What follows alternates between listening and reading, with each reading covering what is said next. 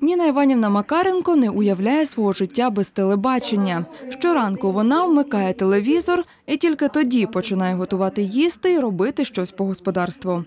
Я тільки встала на кухні і зразу включаю. Щось дивлюсь, щось слухаю і працюю.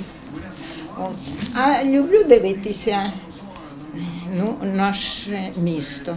Люблю дивитися фільми. Зараз іде по Україні фільм Жіночий лікар і черговий лікар.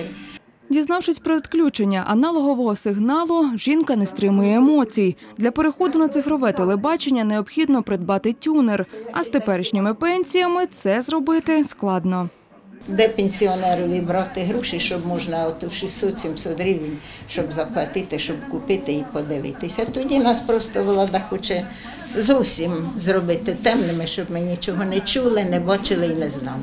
Але і тюнер не панацея. Якщо Ніна Іванівна та інші полтавці перейдуть на цифрове телебачення, то можуть і не побачити програми телевізійної студії місто. Нацрада з питань телебачення та радіомовлення ще не провела конкурс на отримання ефірної ліцензії. Багато компаній е, вже подали заявки, і для того, щоб вони не випали із е, е, цифрового формату в подальшому, Зв'язуємось із членом Нацради Олегом Чернишем, аби він уточнив інформацію щодо можливого відтермінування.